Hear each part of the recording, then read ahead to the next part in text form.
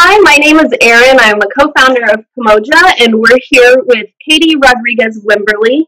Katy, if you wouldn't mind uh, introducing yourself, please. Yeah, hi. Um, so I'm Katy. I am a second year graduate student at the University of California, Irvine, um, and my concentration is in astrophysics, specifically galaxy evolution, but I'm sure we'll talk about that more. Yes, yeah. that sounds really interesting. and I, hope we do get to talk about that more. Now, um, Katy, if you wouldn't mind telling us a little bit about your background, um, what got you interested in a STEM field, or particularly what you're working on now, um, kind of your educational and personal background, and what you're doing now professionally. Yeah. Um, so I think from the get go, I was kind of interested in like space in general. Um, when I was, I have five older sisters, so I have this giant family.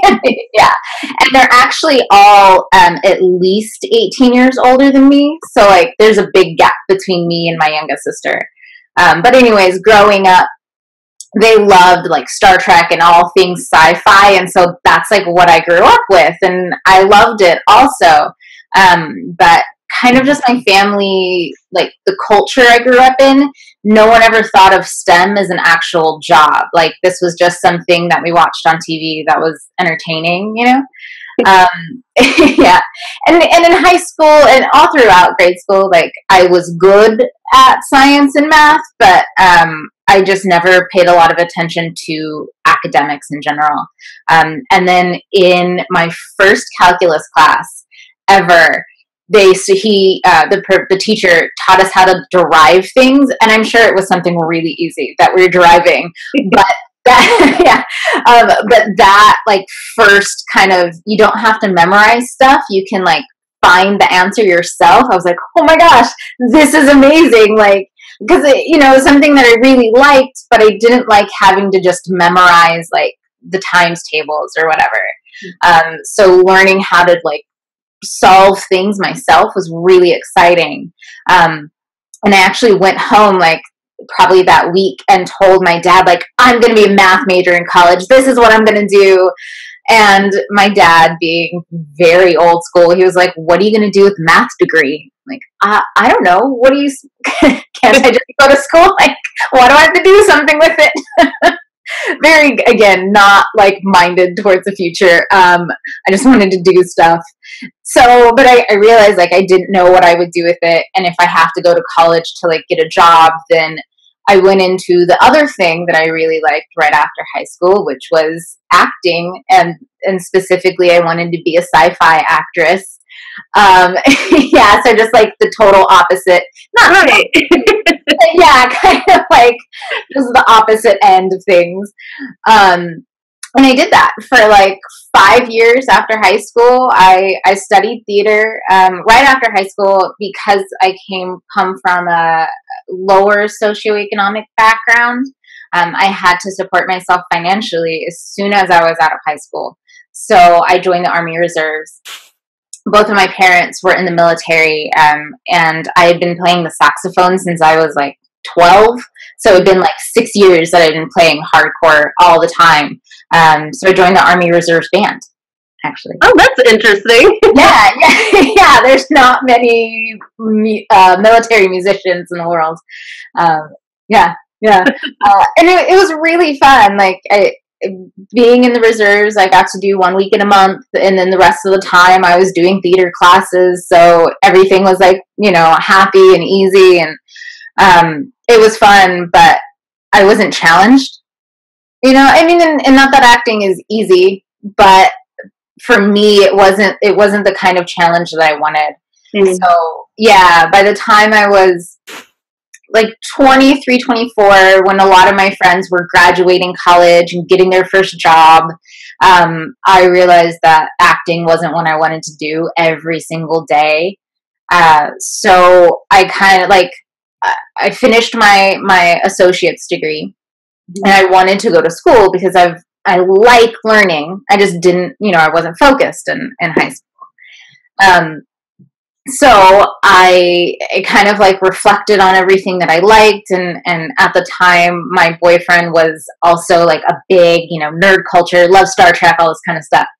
And we talked about uh, we were watching Star Trek Voyager actually and um, and I was like I just want to be Captain Janeway she's so awesome um, and he was telling me like you that's a job you know research is a thing right what are you talking about? That's not, yeah, like, no, who does that? Like, what do you do? Um, like, people so, do that in real life? Okay. Yeah, yeah, yeah. I'm like, what? Um, and so I start like looking, you know, re- just internet. Internet's amazing. Uh, Googling things. And I realized that it is a job. And it's like, you know, this really awesome job where you just get to do science every day. Um, so I that's what I went back to school for. So I got my bachelor's at um, Cal State Long Beach in physics. Um, because most programs don't have like just astronomy majors. You kind of do physics and astronomy together often. Um, and Cal State Long Beach was close. My sisters had gone there. Was like, oh, this is perfect. I'll, you know, I'll just do this thing. Um, and it was it was that was rough. going from like theater where I'm just kind of you know memorizing stuff and having fun, right? Yeah, math every single day, like it's awesome. yeah, it's rough. it sounds scary to me, but I was never really mathematically inclined or awesome at it. It was always a challenge for me. So, um, but I yeah. find that people people like you who math and science um, come easy to them and they're passionate about it and they really enjoy it. I I'm not like that. I'm much more inclined on the like artistic, uh, okay. awesome in English. But I I find people are weighted on one or the other typically. Yeah, um, yeah. You kind of run the whole spectrum, though. It sounds like. yeah. Um, so I my husband is actually he's very very artistic. He's an artist. He's an mm-hmm. animator. Um, and it's funny because we'll sit and talk about like the ways that we're creative and I and he can just make stuff up out of like nothing. Like that's amazing. Like I can't do that at all. But I can kind of do it with math now where I'm like, "Oh, we'll just do this thing." I can solve that problem. So, yeah, there's definitely a balance but it's this funny like there's there's a lot of creativity in math once you like get past memorizing timetables and stuff yeah yeah there's a and it, it ends up i'm i'm such a nerd because i think this is really fun but i do i think it's really fun where i'm like oh i know how to solve this problem. Hold on. And you know like i'll go find all the different little tricks to solve a specific thing.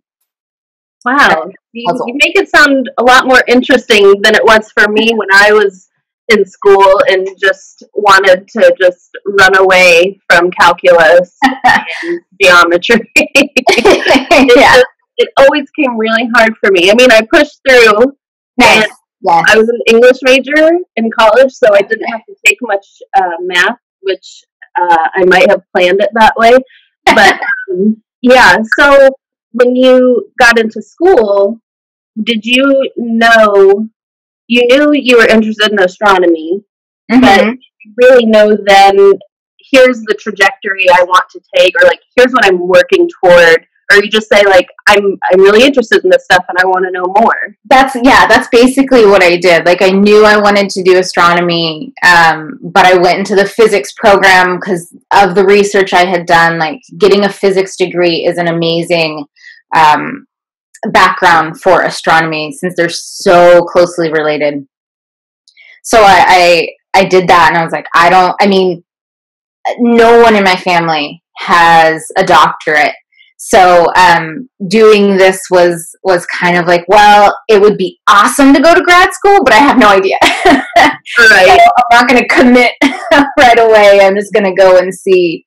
Um, but my professors were so awesome. And in my very first physics class, the first quarter I was at Cal State Long Beach, um, the professor stood up and it was just like one of these kind of 100 level classes. So there was about 150 of us in the class. And he said, Look, all of you, I like if you want to do research um, over the winter quarter, come talk to me and you I'll I will I will vouch for you. You can do it. Um, and so I, I did. Like I I don't think I'd ever talked to him before because I'm very like quiet in class. Um, and so I, I asked if I could, and he said yeah. And then literally like two or three weeks later, I was doing research with like the department chair. It was, yeah, yeah. It was not intimidating at all. I know, right? Yeah, I was like, okay, this will be fun. wow. Yeah. So do you think did he kind of act as like a mentor for you to kind of nail down, I guess, what you wanted to do, um, or at least help guide you a little bit? yeah. Research and then maybe learning from there more of what's out there. Mm-hmm, mm-hmm. Yeah. So, so when I was talking to him, you know, and I, I talked to him about like how I was interested in astronomy, but that I did want to explore other areas of physics because I really had, you know, this is my first time taking a physics class ever. Um, or I had taken one before, but it, it was it was a different kind of. This was like a first major class, I guess. Mm-hmm. Um, so he was helpful and like, okay, yeah, let's we'll set you up with the, the so the department chair was doing kind of medical research uh, medical physics. So I was helping to create an app for um, people who are learning how to, people who are hard of hearing and learning how to speak kind of like in public. Mm-hmm. Um, so it was a good, it was like, this is good, it's hands on, it's short, you can get a kind of a taste of what's going on. Um, and then and then figure out from there, you know, if you want to follow that path or not. Um, but he was really helpful and the department chair was um, she's an amazing woman. I still talk to her very frequently. Yeah. Um, and just, just guiding me and like, I kind of want to do this, but I don't know. And, and she's like, no, you, you can do it. Let's just go do it, you know? Um, so they, at Cal State Long Beach, all of the professors were just really helpful and like kind of guiding me and saying like, if you want to do it, just try it. Just do it. Yeah that's that's really good advice. I think some people get really intimidated or think like I don't know anyone or you know like you said you have a big family and that STEM fields weren't really something at least that your parents were really cool about it yeah yeah yeah uh, but to have someone say like just try it just learn about it um, I think that's really important, especially for women in STEM, that mm-hmm. I still feel like they aren't always encouraged yeah. to pursue things. Yeah. To have a, a mentor or just someone kind of on your team saying, just do it, just find out, you know, learn about it. Like yeah. you said, the internet's a great resource too. yeah, yeah. Um, have you found did you actually get a lot of support from your family once they figured out, okay, this is her passion, this is what she wants to do? Because it sounds like they're kind of on the fence at first because maybe it wasn't totally practical to them. Yeah, um, kind of. So one of my sisters who actually became a designer, which she was in the same situation where the family was like, "What? You're gonna do what? like, why don't you just go do this thing?" Um, but she, you know, powered through and and is is successful. Like owns her own business and um, yeah, really awesome stuff. So she had always she became my like champion of like, no, you can do this and just figure it out. Um, and the rest of my family, they were supportive, but they didn't know, they didn't really know what was going on. Like in some sense, I feel like my my mom, my parents don't even know now that like I'm not paying for grad school. Like this is my job. I don't think they fully grasped that you know what is going on is what's going on. Um, mm-hmm. But they were happy that I was going back to school. They were happy that you know I they at first I was working full time while I was in school, um, and that was that's rough. Um, yeah, uh, but I applied for again through encouragement from the faculty at Long Beach. um, I applied for a couple fellowships and I got them. So when my family realized, like, oh, you're getting money to do this this thing, they were really happy. They were like supportive, but very happy that like I was figuring out how to do what I wanted to do. Right. Yeah. How do you explain to people what you're researching or what you're working on? Because I think sometimes there's a lot of um, scientifical jargon. Read the words, but not maybe necessarily understand what they mean or um, how they might relate to us everyday people. What what? How do you explain what you do? Yes. So how I how I explain what I do. Well, so in astro, at least the astrophysics that I work on, like I was saying, it's galaxy evolution. Um, and I, at some point, I realized that maybe most people don't even realize, like, that galaxies evolve. And evolution is a weird way to talk about it, anyways, because I think when most people think about evolution, they think of like how you know life came from bacteria. Um, mm and in galaxy evolution, we're really just talking about how the Big Bang, which was like, you know, a bunch of little stuff that we don't really know what it was, became the galaxies that we see today. Um, my particular role, at least currently, is I look at how long it takes galaxies to stop forming stars. Oh, how interesting. Okay. Yeah, yeah. Um, so galaxies, most of them have like just gas and dust, and exactly what stars form out of.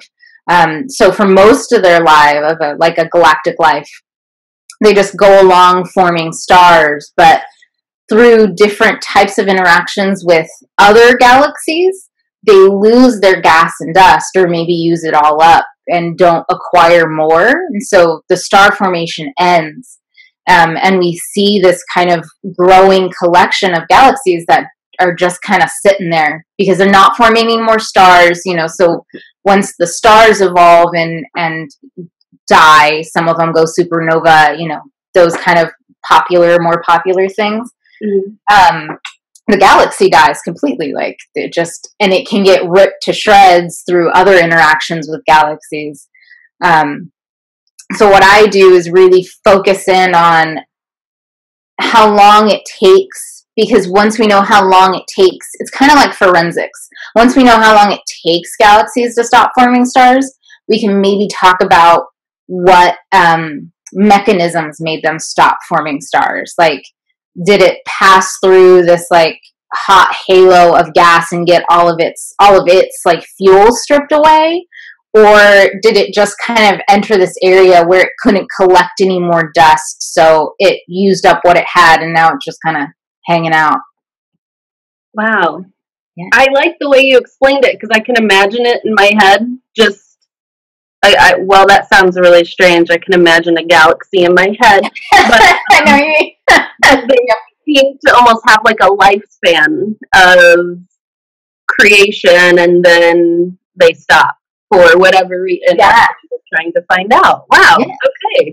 Thank you for explaining it that way. Yeah, you're welcome. Yay.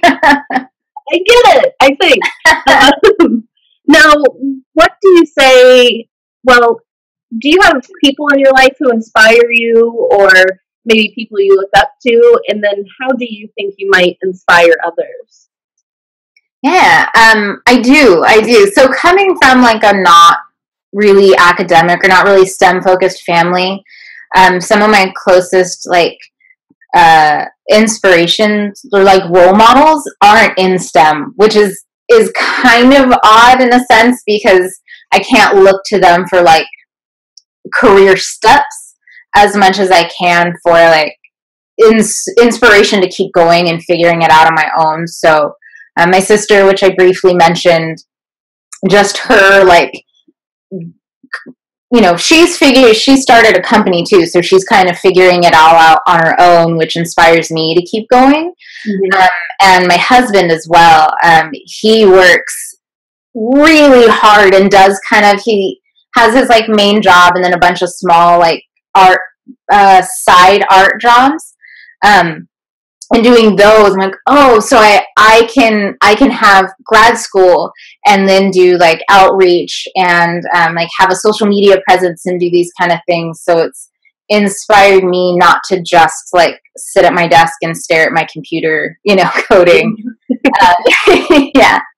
And then inside of um, stem or astronomy i think a lot of my professors now at, uh, Cal- at uc irvine are really inspiring because a lot of them do the same thing where they you know they focus on science and it's every day they're really pushing hard to um, do good science and publish that science and focus on communicating it and helping um, increase diversity in you know STEM as a whole, but particularly for us, astrophysics. Um, so I kind of uh, um, I'm inspired by them to do the same and just kind of. So I do outreach by like going into classrooms. Um, particularly, I focus on classrooms with um, kids that either have autism or Down syndrome. Two of my older sisters um, are teachers in these types of classrooms. Oh, okay. Yeah, so I've kind of grown up with it, and I really like. I'm. I guess it's not. It's odd to say, but I'm comfortable with with mm-hmm. people that have these um, these syndromes. So, and no one, no one goes to their classrooms and talks to them. So um, I do, and they love it. Like little kids that just everyone loves space. Like it's cool, right? Yeah, yeah. So um, I've had the the privilege to go and do that in in a number of classrooms um, in like greater kind of Southern California area.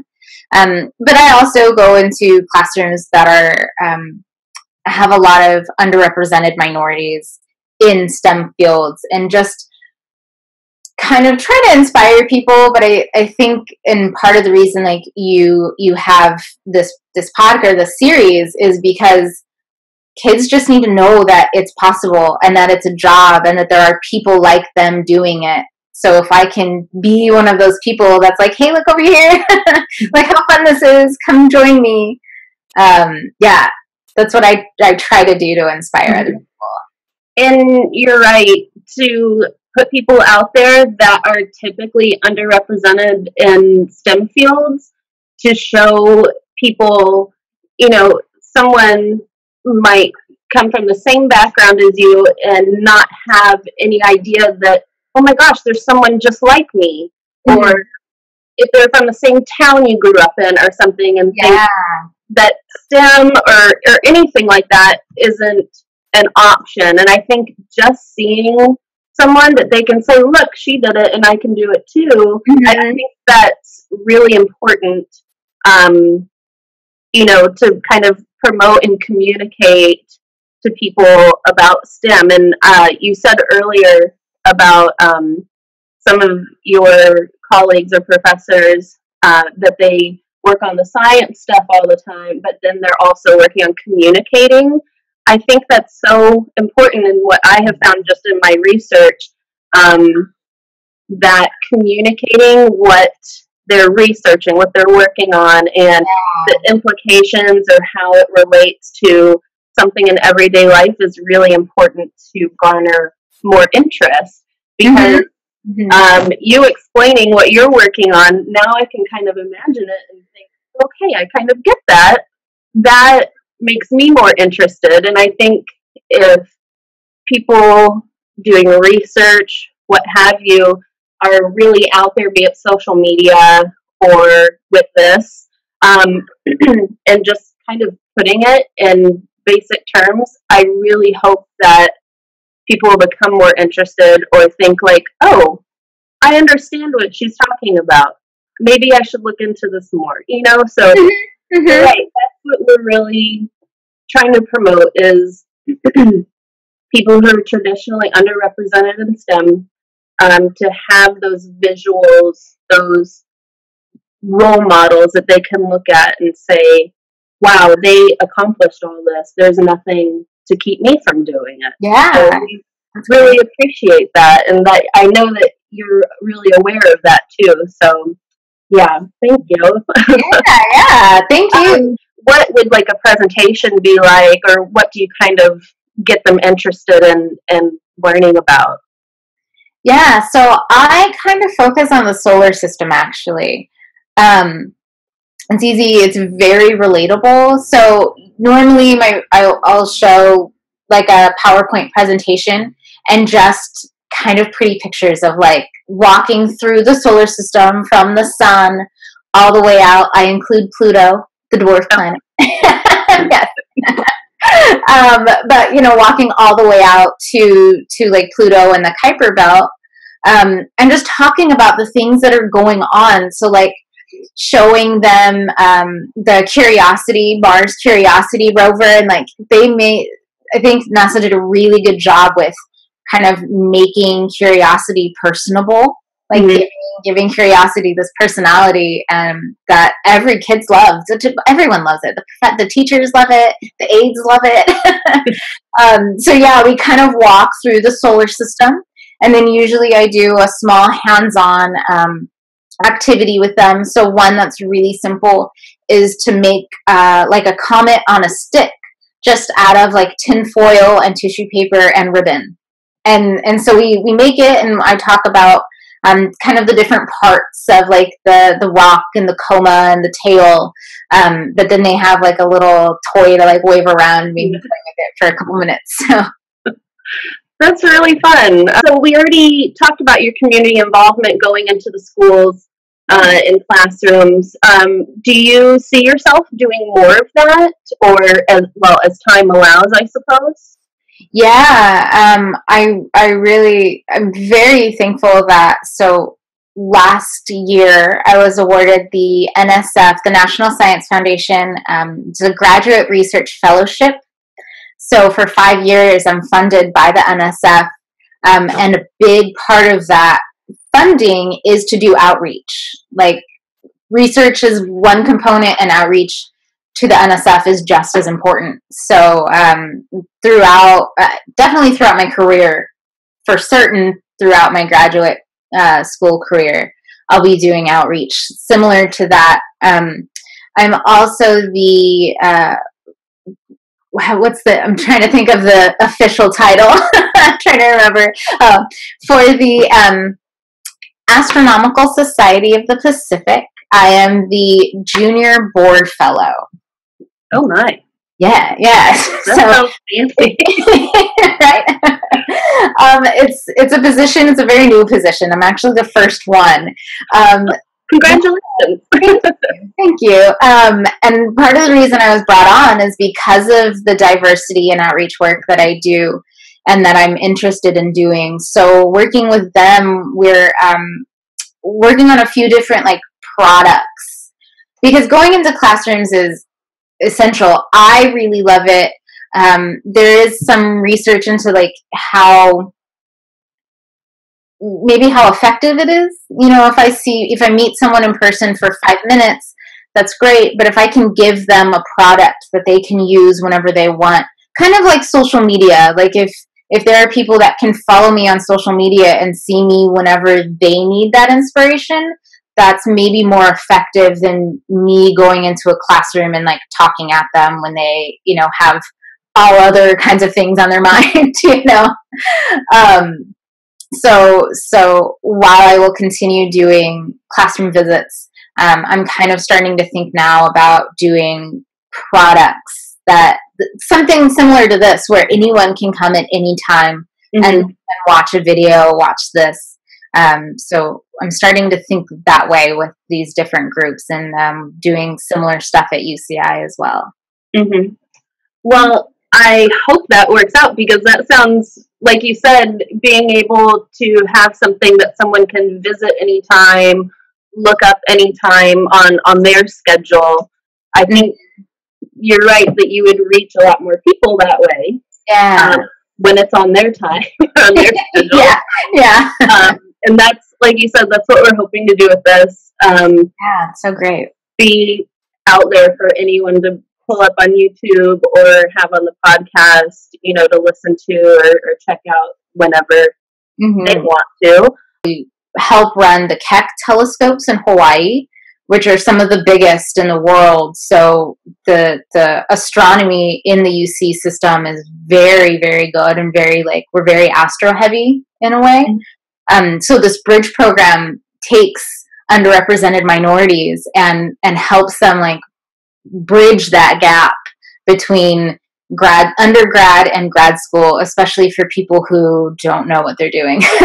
Cal-Bridge is kind of built off of so the american physical society which is the physics kind of big group in america um, they have a bridge program that'll take from masters uh, they help you through a master's program so they'll take undergraduates put them through a master's and then help bridge them into phd programs i think we'll start seeing more things like that in the future, um, more promotion uh, for underrepresented people to get into STEM fields. Um, do you do you see that happening at all, or maybe not so much yet?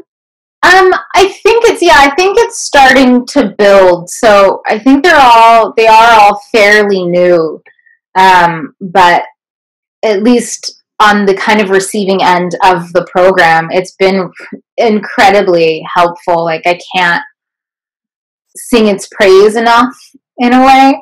Um, so yeah, I'm hoping that that these programs will continue to grow. Did you really run into any adversity or any difficulties getting to the point you're at now? Um, you know, anyone telling you why are you doing this or you should be doing something else? Yeah, um, I did. I don't know if I ran into any more than, at least from like the professor level. Um, I definitely had professors that were like, make sure that this is what you want to do. Like, grad school's really hard, you know, are you going to be able to get through grad school? Um, and also, I mean, which I, which I still hear, um, that you should have a plan B because no one becomes a professor which a professor is always telling you this and you're like well i heard that a few times. Yeah you became a professor. Um, right yeah.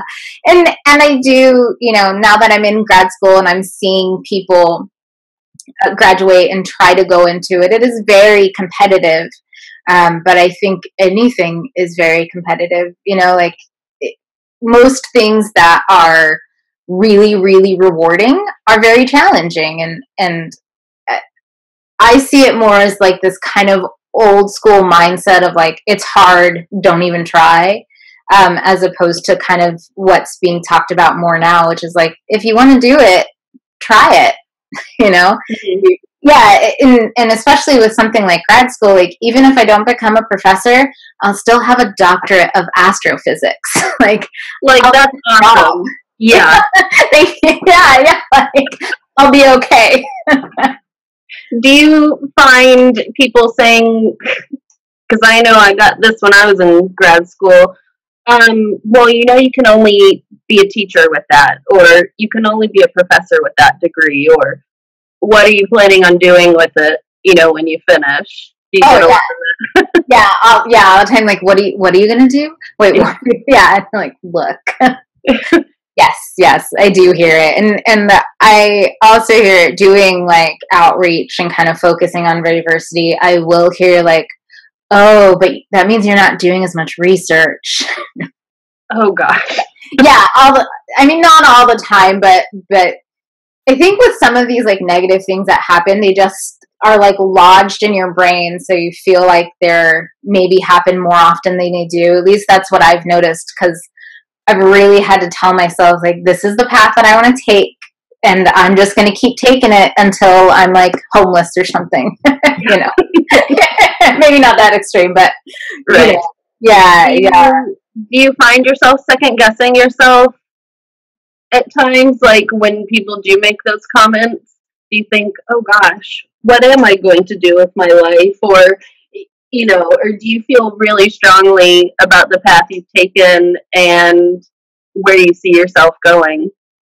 Yeah, I'm kind of so more of the second, but I think I I only am so like like tunnel vision, strong headed about it because I spent so long second guessing myself and like mm-hmm.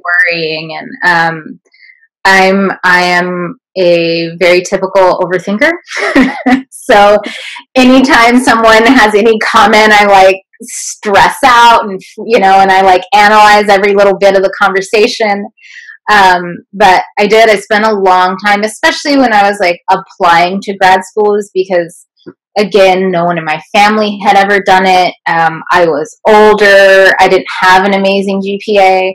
And actually, so I um, finished my bachelor's at Cal State Long Beach. I applied to 12 graduate schools and got into zero of them the first time. Oh man. Yeah. Um, so I, I luckily the m- application deadline for master's programs is usually a couple months after the doctorate programs. So I got into the master's program at Cal State Long Beach and I just like nose to the grindstone and didn't lift my head out of the textbooks for an entire year so that I could raise my GPA and have a lot of you know research under my belt.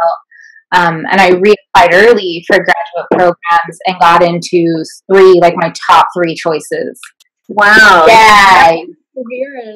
Yes. Yeah. And your determination. Wow. Yeah. So kind of through that, I was like, okay, if I can do it, if I can make it through that, like I don't care what anyone says, I'm just gonna like steamroll steamroll my way through this. Yeah. Wow. Now, what would you say, or or what kind of advice would you give to someone, um, or even your younger self, when you were really confused about what you wanted to do, thought you had this idea of I love space, um, but not really sure where you wanted to take that. What what kind of advice would you give to someone um, that is like you were interested in a in a STEM field, but not really sure where to go with it?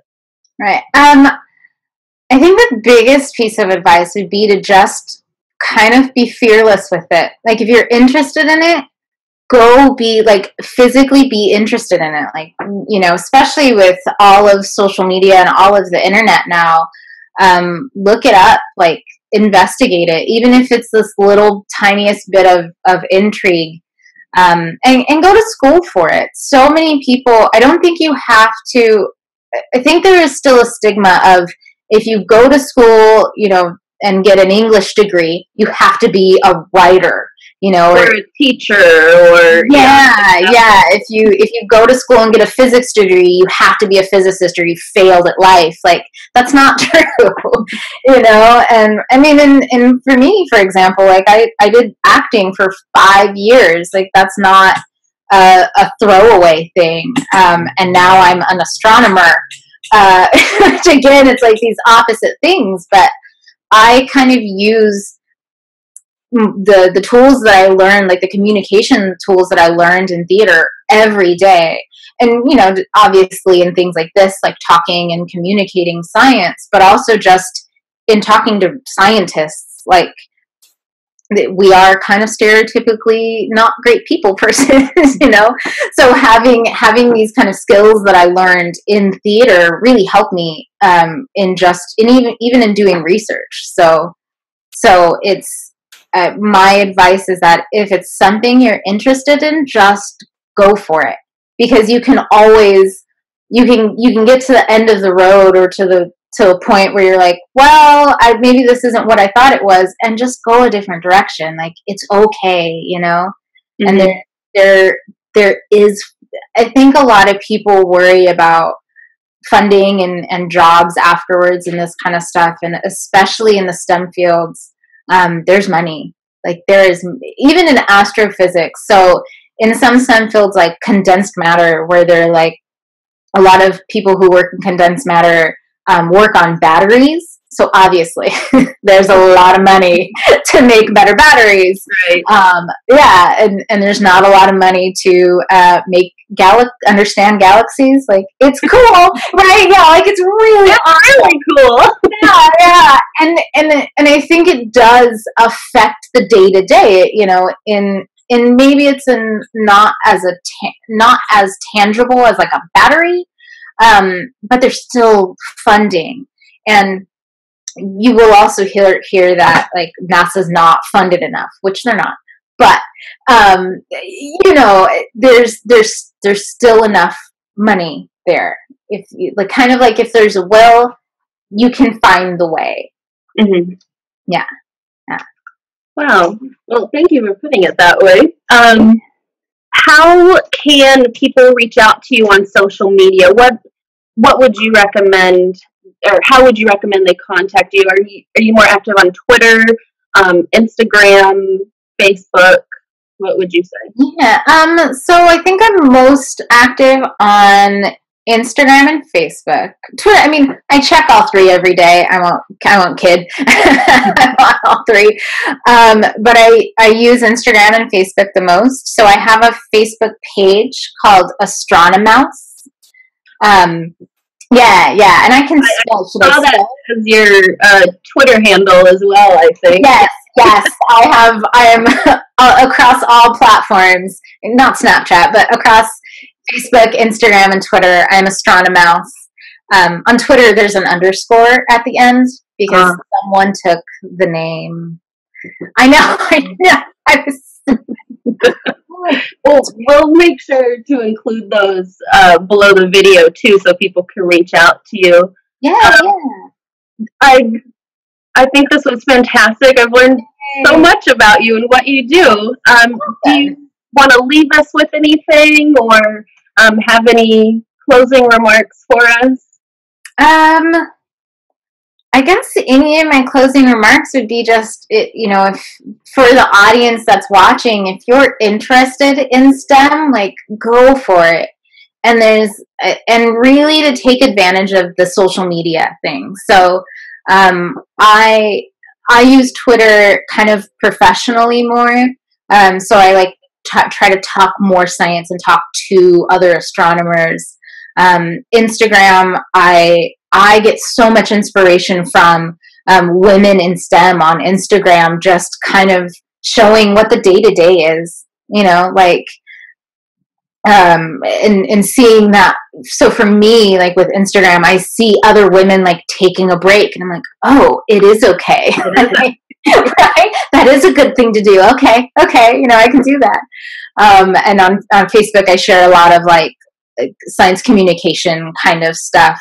Um, but in each place, I get a lot of inspiration and motivation because you can build these international communities really of other underrepresented people in STEM. So I would say don't be scared to reach out and and you know definitely reach out to me. But any any scientist you see um, on social media that's into like any kind of science communication, they're going to be really helpful. Oh, good. That's great to hear. Because I'm sure some people would be apprehensive about just, you know, blindly reaching out to oh. someone. and like you said, just do it. You know, just yeah. try.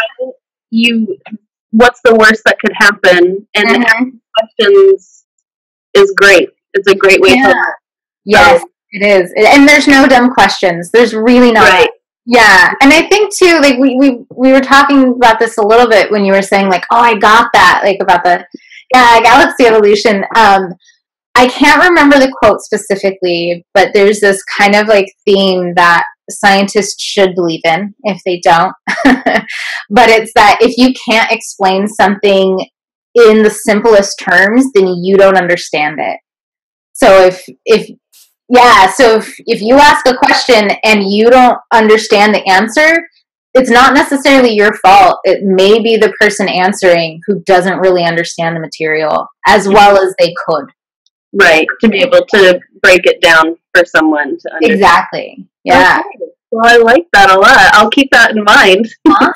Good. well, Katy, thank you so much. It's been fabulous talking to you, and we'll make sure to include your, your social media uh, information awesome. so people can reach out to you. Yay. And thanks again for a lovely interview. Yeah, thank you for having me. You're welcome.